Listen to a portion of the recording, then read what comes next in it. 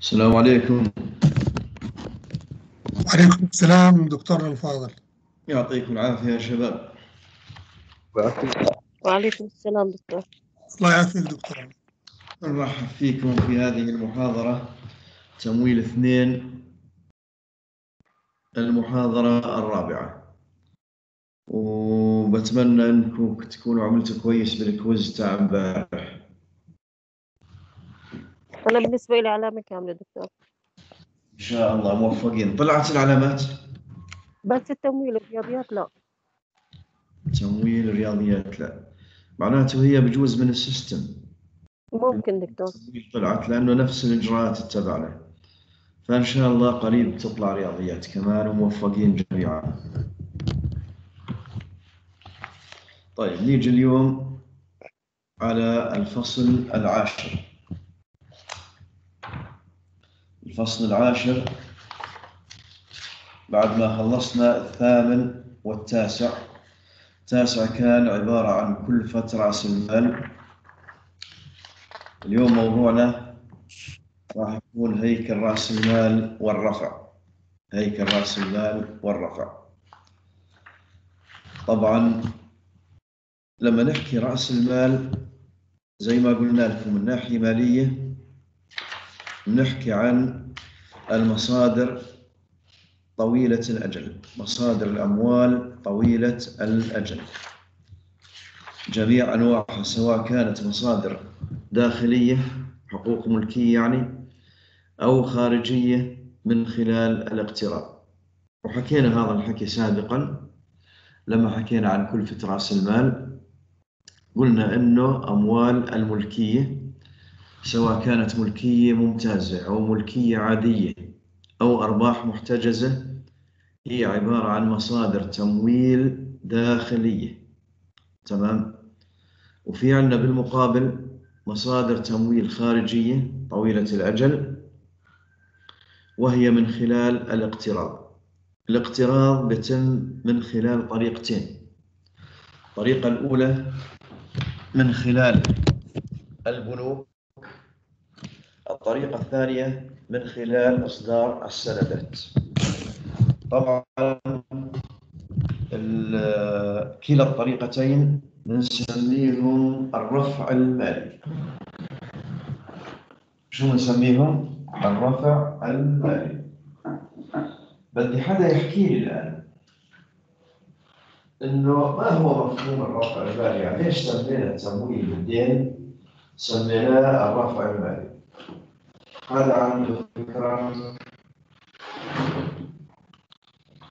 ليش سمينا تمويل بالدين الرفع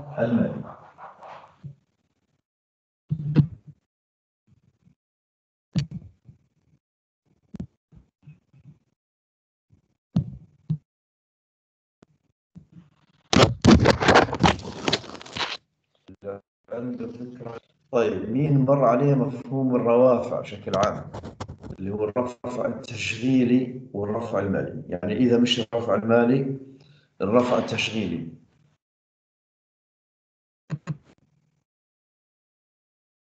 طيب. دكتور. دكتور الرفع التشغيلي بيكون من خلال تكلفة تشغيلية يعني عندك مصاريف إدارية عمومية. أما الرفع المالي بعد الضرائب بعد ما تخصم ال- الفوائد. ممكن.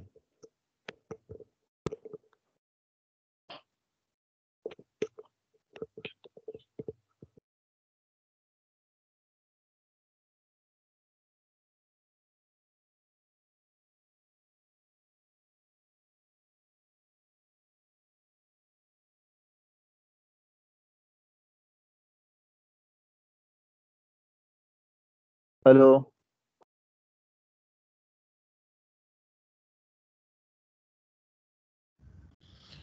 راح الاتصال. الصوت خليك معي خليك معي. آه. ريكوردينج تسجيل بسجل قاعد. كويس. آه، تفضل. تفضل. لا دكتور ما بسجل وقف. آه هو راح الاتصال. ما بعرف ليش. تفضل تفضل. التسجيل دكتور ما بيسجل عفوا. تسجيل دكتور ما بيسجل ما في مش مضوي الضوء الأحمر تسجيله. بيعطيني إنه مسجل بلا هسه بلا بسجل. هسه بتأكد منه توكل على الله يا ريت والله دكتور الله يسعدك. إن شاء الله. تسجيل. من هون. لا هي وسجل لأنه بيعطيني option stop recording معناته قاعد أسجل وهي بيعطيني فوق ريكوردينج هذا دكتور مبين إنه بيسجل لا بيسجل بيسجل إن شاء آه الله. توكلوا على رب العالمين. طيب تفضل. دكتور الرفع التشغيلي علاقة بال بالمبيعات بالتكلفه التشغيليه عندك مصاريف إدارية عمومية. هاي رفع تشغيلي. أما الرفع المالي اللي علاقته بالفوائد والتوزيعات الارباح طيب أشكرك أشكرك. انتبهوا لي هون شباب صحيح كلامك صحيح الكلام اللي حكاه زميلكم لكن خلينا نوضح لكم مفهوم الرافعة أو العتلة بسموها مرات بسموها العتلة. تمام؟ العتلة هي عبارة عن نفس مفهوم العتلة من ناحية فيزيائية. تمام؟ لما نقول هذا مركز العتبة هون. تمام؟ عندنا هون وزن 500 كيلو جرام بدنا نرفعه. جبنا هون وزن 100 كيلو جرام تمام؟ شايفين الكتاب يا شباب؟ لا ما شايفين شيء الكتابة. أنا مش شايف شيء مو آه واضح. واضح الشاشة كبيرة ولا صغيرة؟ كبير. طيب الكتابة هيك مش واضحة؟ الرسم هذا اللي رسمته هون مش واضح؟ دكتور هيك واضح. تمام تمام. إذا لاحظ إنه في عندنا وزن 500 كيلو جرام بدنا نرفعهم من خلال فقط 100 كيلو جرام ما علينا إلا إنه نبعد مركز الرافعة عن مركز القوة. يعني لاحظوا هذا مركز القوة هون. تمام؟ مركز القوة بعيد عن مركز الرافعة مركز الرافعة قريب من الثقل اللي بدنا نحمله.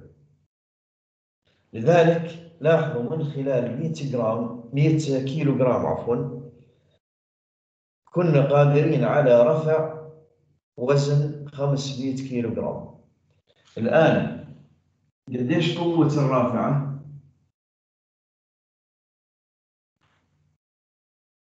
خمس درجات إذا قوة الرافعة خمسة مرات أو خمس درجات لاحظوا كل كيلو جرام شال قديش؟ خمسة كيلو جرام واضح؟ إذا ضاعفنا الجهد من خلال ما يسمى آه، قوة العتلة أو قوة الرافعة. الآن خلينا نطبق هذا الحكي على الجانب المالي على الجانب المالي.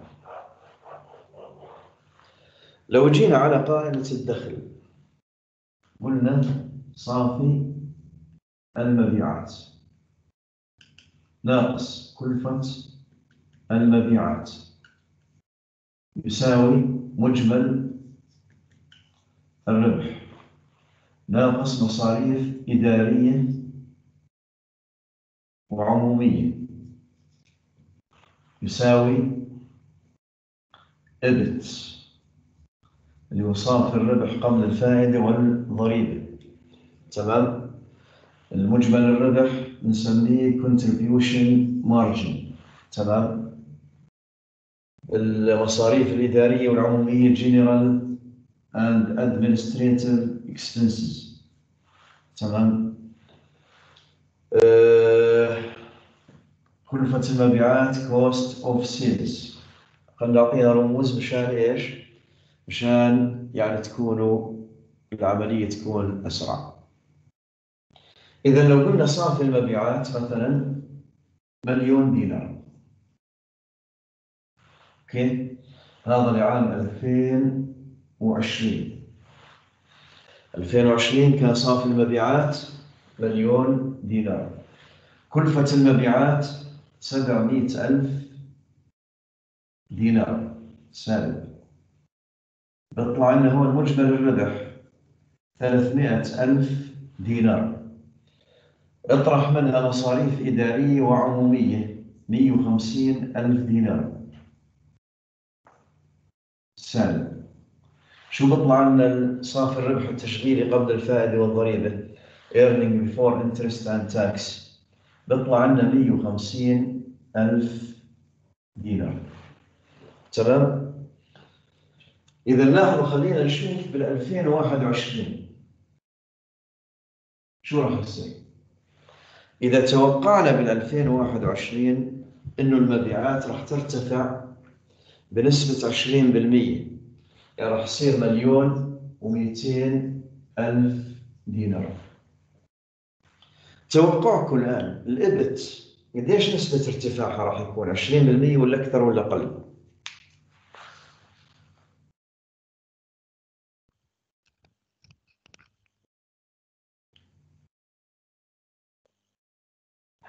دول راح ترتفع بنسبة 20% نعم.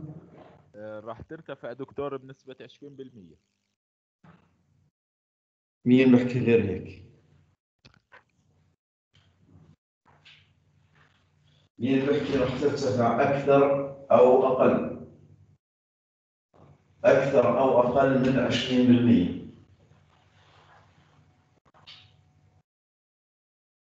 هي مش راح ترتفع 20%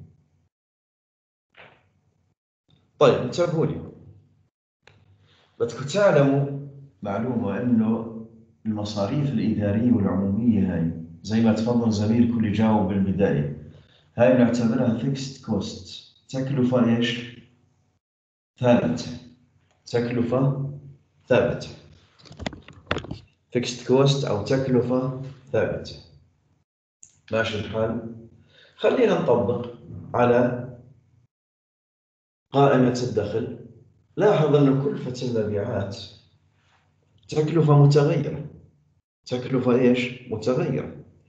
لأنه أنت إذا بتبيع زيادة معناته بحاجة إلى بضاعة زيادة. إذا تكلفة المبيعات ترتفع وتنخفض بنسبة تغير المبيعات نفسها. يعني إذا المبيعات زادت 20% معناته كلفة البضاعة المباعة راح تزيد 20% راح يصير هون 840 ألف دينار. ماشي الحال الآن قديش مجمل الربح؟ اطرح راح يطلع لنا 360 ألف دينار. ماشي الحال شو راح نطرح منها الآن يا شباب؟ المصاريف الإدارية والعمومية قديش؟ 150 ألف. أشكرك. إذا هاي سكر السبيكر ما اسمعش إذا هاي راح تكون 150 ألف. ما بتزيد. ليش؟ لأنه قلنا لكم إنه المصاريف الإدارية والعمومية هي عبارة عن تكلفة ثابتة. إذا نزلها زي ما هي 150 ألف دينار. قديش راح يطلع عندنا الإبت؟ 210 ألف. الآن لو قلنا لكم ما هي نسبة التغير بالإبت؟ احسبوا لنا نسبة التغير بالإبت.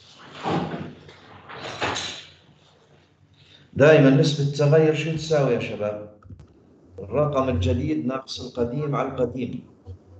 إذا percentage change in EBIT يساوي EBIT 1 ناقص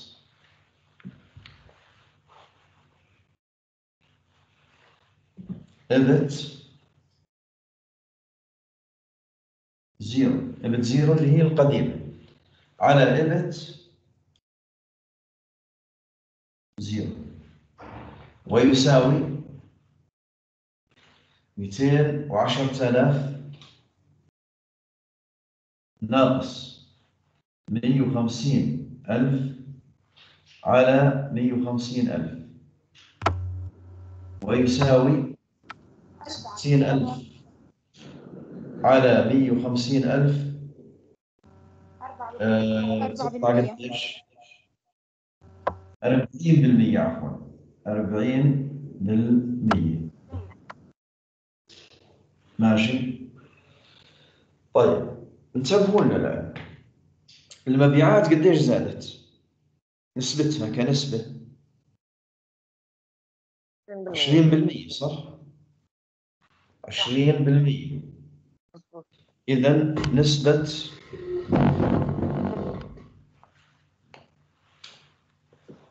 percentage change in sales اللي هي المبيعات يساوي 20% تمام؟ Percentage change. EBIT شو يساوي؟ 40% الآن إذا بدك تحسب درجة الرفع باعتقادك قديش راح تكون؟ قيس على الرافعة اللي عملناها قبل شوي. قيس على العتلة اللي عملناها قبل شوي. ال 100 جرام رفعوا 500 جرام قلنا درجة الرفع خمسة. الآن 20% أدوا إلى 40% قديش درجة الرفع؟ اثنين. اثنين. اثنين. اثنين درجة. إذا degree of operating level درجة الرافعة التشغيلية. تساوي percentage change in EBIT على percentage change in sales. ويساوي 40% على 20% ويساوي 2 درجة. تمام؟ 2 درجة معناته كل أي جهد في زيادة المبيعات بنسبة مئوية سوف يؤدي إلى ضعف النتيجة بالنسبة لصافي الربح قبل الفائدة والضريبة سكر السبيكر تمام؟ طيب الآن في طريقة ثانية كمان لحساب الرافعة التشغيلية قديش طلعت معنا هون يا شباب؟ اثنين اثنين إذا احفظوها هاي طريقة. الطريقة الثانية لازم طبعا تطلع معنا كمان نفس النتيجة. بنقول degree of operating leverage يعني درجة الرافعة التشغيلية تساوي contribution margin اللي هو مجمل الربح على EBIT لسنة واحدة طبعا.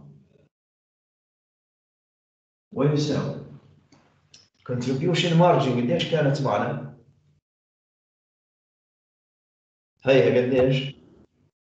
300000 300,000 إذا هاي 300,000 الإبت قديش كانت؟ 150000 150,000 إذا هاي 150,000 ويساوي 2 ديجري 2 درجة. شفتوا كيف؟ طلع معنا نفس النتيجة. أوكي؟ إذا الآن عرفنا ما هو الرفع التشغيلي. وكيف يقاس؟ وكيف إيش؟ وكيف يقاس؟ وما هو معناه؟ يعني لما نقيسه كمان نكون قادرين على تفسيره من خلال انه نوجد معنى معناته لو دورنا على السبب وقلنا لكم انه الرفع التشغيلي من وين اجى شو سببه؟ سببه أنه إحنا زدنا المبيعات بنسبة 20% المصاريف الإدارية والعمومية اعتبرت تكاليف ثابتة. لذلك ما زادت. كونها ما زادت أدت إلى وفر. الوفر هذا وين اجى بالإبت. لاحظ لو الآن المصاريف الإدارية العمومية زادت بنفس نسبة المبيعات معناته الإبت راح تزيد كمان بنفس نسبة المبيعات. أما إحنا وفرنا ما بناخذ المصاريف البيعية بعين الأعتبار. مش سامع ما بناخذ المصاريف البيعية بعين الاعتبار. المصاريف الثابتة بناخذ ناخذ. الجزء الثابت من المصاريف الإدارية والعمومية. تمام. تمام؟ يعني الآن المصاريف التشغيلية الثابتة هي التي تساهم في الرفع التشغيلي. أما الجزء المتغير فلا يساهم بالرفع التشغيلي. وضحت؟ يعني إحنا بنراهن بنراهن على ثبات التكاليف. كونها ثابتة مبيعاتنا قاعدة بتزيد ومصاريفنا هذا الجزء من مصاريفنا ثابت. هي معناته هذا سوف يؤدي إلى وفر. هذا الوفر يؤدي إلى زيادة نسبة ارتفاع الإبت بنسبة أكبر من ارتفاع المبيعات. تمام؟ إذا هون بدنا نلاحظ إنه كلفة المبيعات ما ساهمت بالرفع كونها متغيرة. تمام؟ بينما المصاريف الإدارية والعمومية ساهمت بالرفع كونها ثابتة. إذا هذا الجانب التشغيلي لحد هون جانب تشغيلي. تمام؟ طيب هل نقدر نطبق الحكي هذا على الجانب المالي؟ الجواب نعم. يعني هل مصاريف أو تكاليف الأموال حسب مصادرها برضو تنقسم إلى ثابت ومتغير؟ واحد يجاوب.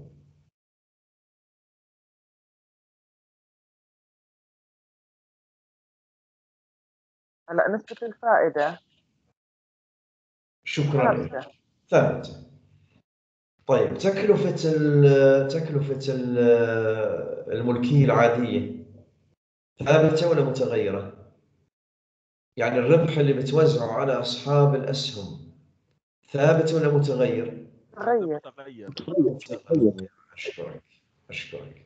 سكر السبيكر إذا راح نلاحظ هون إنه التكاليف الثابتة المالية هي مصروف الفائدة. والتكاليف المتغيرة المالية هي الأرباح الموزعة على المساهمين. إذا خلينا نكمل مشوارنا. بقائمة الدخل.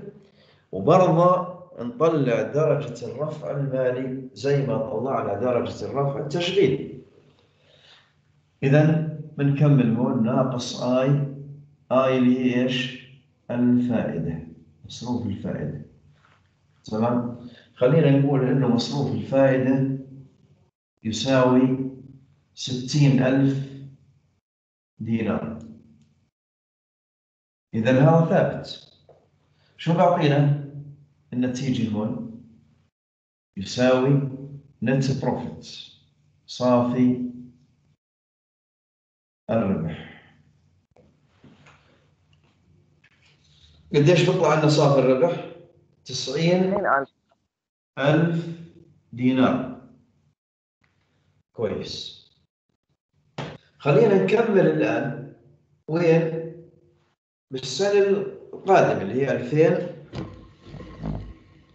2021 قلنا إنه مصروف الفائدة. شو طبيعته؟ ثابت ثابت إذا هاي 60 ألف دينار. من أصل 200 و10000 دينار. شو بضل عندنا؟ 150 150 ألف دينار. الآن قديش قلنا نسبة التغير بالإبت كانت؟ 2 40% صح؟ 40% صح. 40% الآن راح تصير العلاقة ما بين ال EBIT صافي الربح. نسبة التغير. هاي percentage change. in net profit نفس القاعدة بالضبط بنقول net profit 1 ناقص net profit 0 على نت بروفيت 0 تمام؟ ويساوي شايفين شباب اللوح كامل؟ شايفين ها أيوه اذا يساوي 150 ألف على على ناقص عفوا ناقص 90 ألف على قد إيش؟ على 90 ألف. ويساوي 60 ألف على 90 ألف. ويساوي 66 وسبعة بالعشرة بال- بالمية. تمام؟ 66 وسبعة بالعشرة بالمية. 40 بالمية. الآن نوجد العلاقة بينهم مشان نوجد درجة الرفع المالي. تمام؟ إذا قلنا هذا الجانب مالي. تمام؟ الآن بنقول degree of financial leverage. يعني درجة degree of financial leverage درجة الرفع المالي. يساوي percentage change in net profits على percentage change in EBIT. لاحظوا أن الإبت هون صارت بالمقام بينما بالرفع التشغيلي كانت بالبسط تمام؟ ويساوي 67% 6 6 7 على 40% ويساوي خلينا نحسبها بالآلة الحاسبة هاي عندنا هون. 60 67 أو ستة وستين وسبعة. تقسيم أربعين بالمية. ويساوي واحد وسبعة وستين درجة. واحد فاصل ستة سبعة دقري درجة وسبعة وستين. تمام؟ الآن زي ما عملنا هناك برضو بإمكاننا نطلع درجة الرفع المالي بالطريقة الثانية من خلال قائمة دخل واحدة. كيف؟ برضو بنقول on أو يعني. Degree of financial leverage تساوي واحد بوينت EBIT على net profits. على EBIT عفوا. على EBIT طبعا هون إحنا افترضنا إنه ما في ما في ضريبة. لو في ضريبة يعني هاي هاي بنسميها بدل ما نسميها صافي الربح خلينا نسميها إبت. لو صافي الربح قبل الضريبة. تمام؟ إذا ابت على إبت. ويساوي آه الإبت قديش كانت؟ 150 والإبت 90 مش هيك؟ إذا هاي 150 ألف على 90 ألف. ويساوي واحد وسبعة وستين دقري درجة. يعني نفس النتيجة طلعت معي. تمام؟ بس تزيح ال- الشاشة بس على اليمين شوي. هيك تمام؟ شوي.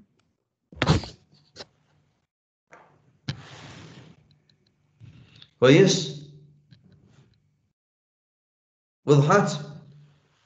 لا بس على اليمين مش مبين اللوح مبين منطقة هاي يعني؟ أيوه مش مبين. مش مبين هاي للأخير هاي هيك تمام؟ لفوق هاي لفوق هيك تمام أوكي طيب اذا الآن خلصنا من الرفع التشغيلي والرفع المالي. وأعطيناك طريقتين لحساب كل رافعه من هذه الروافع. الآن بنيجي وين؟ نيجي على الرفع الكلي. الرفع الكلي. نرجع لهناك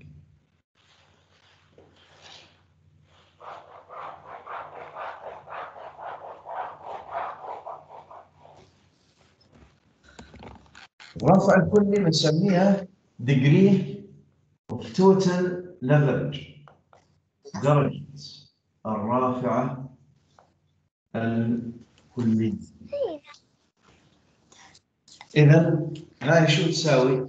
هاي تشمل الرافعتين يعني راح نبدأ من بداية الطريق من عند ال contribution margin سنصل لوين؟ لل EBIT مباشرة إذا تساوي contribution margin على إبت أول ويساوي.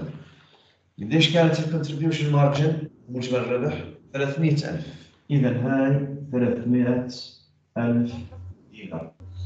الإبت قديش عنا؟ 90000 ويساوي. بنقسم الآن 300000 تقسيم 3.3 90000 تطلع 3.33% 3 درجة. ماشي الحال. أو أو بنقول مع الرفع المالي مع الرفع التحصيلي degree of total leverage يعني درجة الرافعة الكلية هي حاصل ضرب الرافعتين. بنقول degree of operating leverage ضرب degree of financial leverage. ويساوي اثنين ضرب واحد وستة ستة سبعة ويساوي ثلاثة فاصلة ثلاثة وثلاثين دقيقة درجة. واضح يا شباب؟ دكتور بس لو سمحت اللوح من فوق مش مبين تفضلي اللوح من فوق بس مو مبين أيوه.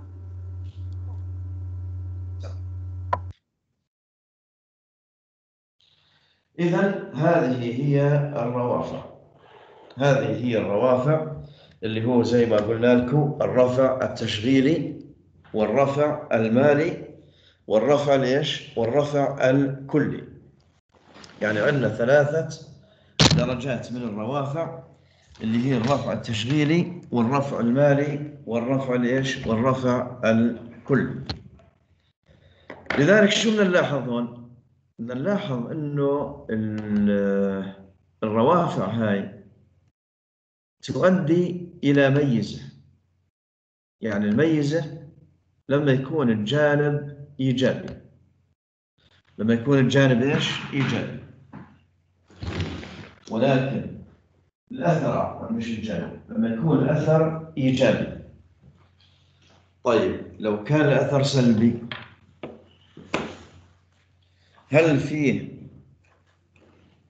آه شيء بالدنيا كلها له إيجابيات وما له سلبيات؟ إذا دائما الإيجابيات في مقابلها السلبيات تمام؟ الإيجابيات ال- إذا صار زيادة بالمبيعات لاحظنا إنه ضاعفنا نسبة الزيادة بالإبت وضاعفنا كمان نسبة الزيادة في صافي الربح قبل الضريبة ولكن خلينا نروح على الاتجاه الثاني. لو قلنا إنه المبيعات نزلت 10% أو 20% معناته برضو الإبت راح تنزل 40% ماشي؟ وبرضه الإبت راح تنزل قديش قلنا؟ ستة وستين وسبعة من عشرة بالمية. معناته الرافعة سواء كانت تشغيلية أو مالية. مثلما تضاعف الأثر على زيادة الربح أيضا تضاعف الأثر بالنسبة لانخفاض الربح. علاقة طردية دكتور يعني.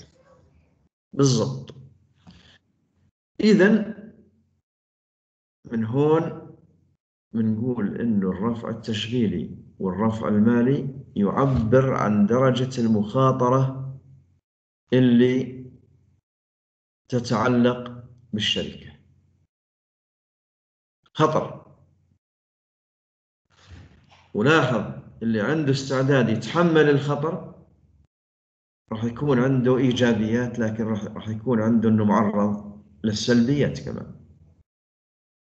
واضح؟ يعني بتحمل مخاطرة إما بيكون آه الأثر إيجابي أو الأثر بيكون إيش؟ سلبي.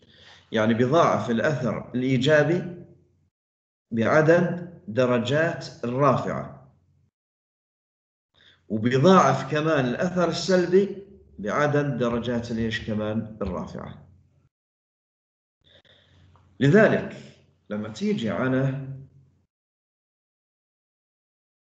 الرفع التشغيلي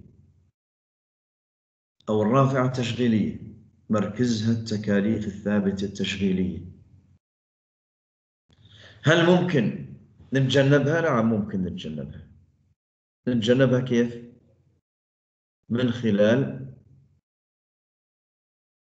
ما يسمى التكاليف المتغيرة بدل التكاليف الثابتة. هون بتيجي عندك إدارة التكاليف. هيكل التكاليف. بمعنى نأخذ مثال عملي. الآن لو عندك مصنع تصنع فيه سيارات. okay؟ في عندك خدمة التصميم design للسيارة. وعندك الآن اختيارين. إما هاي الخدمة تخليها تكلفة متغيرة أو تكلفة إيش؟ ثابتة. مين بيحكي لي كيف بنخليها تكلفة متغيرة وكيف بنخليها تكلفة ثابتة؟ خلي عندنا دكتور تصميم واحد للسنة.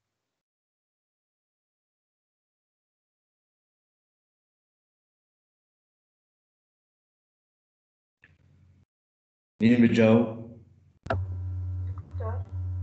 تفضل. آه، دكتور بتوقع انه إذا عملنا تصميم واحد يعني بكل السيارات ما نضل نغير التصاميم دائما هاي يعتبر ثابت. يعني خلص ندفع تكلفته نستفيد منه أكثر من من مرة. شكرا يا فاطمة. طيب انتبهوا لي. الآن لاحظوا اللي يعني تصميم السيارة ما بتغير كل سنة؟ كل خمس ست سبع ثمان سنوات. يعني المرسيدس مثلا بغيروا تصميمهم كل ثمان سنوات مرة تقريبا. تويوتا نفس الشيء وكثير من الأنواع. تمام؟ لذلك إذا عملنا داخل الشركة قسم للتصميم وعينا له كادر. راح ندفع لهم رواتب ثابتة. شو بيكون هون مصروف التصميم؟ كلفة التصميم هون بتكون ثابتة. بالمقابل ممكن ما نعمل قسم للتصميم داخل الشركة. ممكن إنه نشتري الخدمة هاي مشترى من برا. من شركات تصميم. شو حولنا هون الكلفة إلى إيش؟ متغيرة. إلى متغيرة. شكرا يا سارة. إذا حولناها من تكلفة ثابتة إلى تكلفة متغيرة. طيب مين بيحكي لي الآن؟ أنت لما تكون مدير مالي متى بتحبذ إنه التكلفة تكون ثابتة ومتى بتحبذ إنها تكون متغيرة؟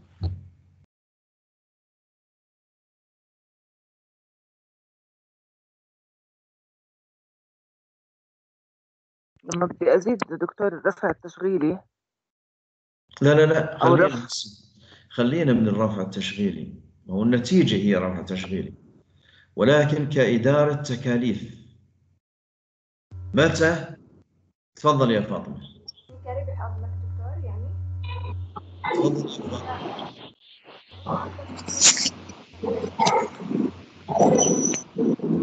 تسليم سكري للسبيكر تفضل يا فاطمة. إذا إحنا قصدنا إذا قصدك على الربح. إحنا إذا بدنا نزيد الربح المفروض إنه آه، يعني يفكر المدير المالي إنه يكون التكاليف ثابتة عشان طيب. تسنيم. تفضل يا تسنيم.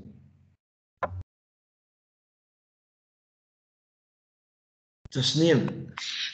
دكتور هلا حسب ال يعني حسب اللي داخل بالإنتاج إذا كان إشي بنستخدمه بالإنتاج دائما فيحبذ إنه يكون ثابت. أما إذا مكان متقطع إنه مش دائما نستخدمه بيكون متغير. لأنه إذا حطيته ثابت وأنا مش دائما بستخدمه فرح يكون عبء علي. شكرا تسنيم سارة تفضل. تفضل يا سارة. رافع إيدك تفضلي. دكتور حسب نسبة المخاطرة للشركة لا بنرجع الآن. إلها علاقة المخاطرة بس يعني بتيجي درجة ثانية. نرجع لإجابة تسنيم هي الإجابة النموذجية. شو حكت لنا تسنيم؟ إنه إذا المنتج أو الخدمة نحتاجها بشكل دوري لا خليها ثابت. تمام؟ يعني زي مثلا محرك السيارة. ما هو محور نشاطنا هو محرك السيارة يعني كل سيارة بدها محرك. تخيلوا إنه ما نصنع المحرك داخليا ونروح نشتريه جاهز مشان نخليه تكلفة متغيرة. ما بوفي معنا. ليش؟ لأنه إنتاجنا بالمحرك إنتاج غزير. إذا صناعة المحرك بنخليها داخلية بالشركة ومنعين كادر ومهندسين ومنجيب معدات. ليش؟ لأنه مع الإنتاج الغزير تكلفة الوحدة الواحدة راح تقل. لأنه معظم تكاليفنا راح تكون ثابتة. هي رواتب المهندسين واستهلاك الماكينات وما شابه. ولكن خدمة التصميم كونه ما بنحتاجها غير بشكل متقطع ولفترات طويلة معناته هون نحولها إلى تكلفة متغيرة بيكون أفضل. تمام؟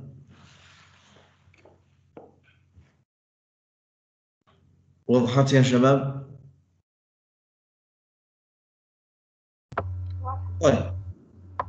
إذا بالحالة هاي برضو بنيجي على الجانب المالي. الجانب المالي بنرجع لإجابة سارة. تخيلوا أنه شركة عندها درجة الرفع التشغيلي عالية. يعني التكاليف الثابتة التشغيلية عالية. هل بتنصح هاي الشركة كمان أنه تحط على حالها تكاليف مالية ثابتة عالية؟ الجواب لا. لأنه بصير في عنا الرفع المالي عالي والرفع التشغيلي عالي معناته أوقعنا الشركة في مخاطر عالية. إذا يجب علينا أن ندرس وضع الشركة الداخلي وندرس برضه الرفع التشغيلي ومنها نتخذ القرار إنه نمول مشاريعنا الجديدة بالدين أو بالملكية. لاحظوا إنه الملكية أغلى علينا. ليش؟ لأنه راح نجيب مالك يقاسمنا الارباح تمام؟ الدين أقل كلفة علينا لأنه سعر الفائدة ثابت. ولكن هل صاحب الدين ممكن يسامحك؟ الجواب لا. ولكن صاحب الملكية ممكن تحرمه من توزيع الأرباح لعدة سنوات. ليش؟ لأنه إذا الشركة قررت أنه توزع أرباح بتوزع بشكل اختياري. ولها الحق إدارة الشركة أن تتخذ قرار بعدم توزيع أرباح. معناته لا يوجد التزام ثابت عند التمويل بالملكية بينما يوجد التزام ثابت عند التمويل بالدين. لذلك يجب على الشركة أن توازن بين مصدري التمويل الدين والملكية حيث أنه نوازن بين العائد والمخاطرة. تمام؟ نتوقف هون يا شباب يعطيكم العافية. وموضوع الكويز المحاضرة القادمة بيكون بمحاضرة اليوم. تمام؟ الله يعطيكم العافية.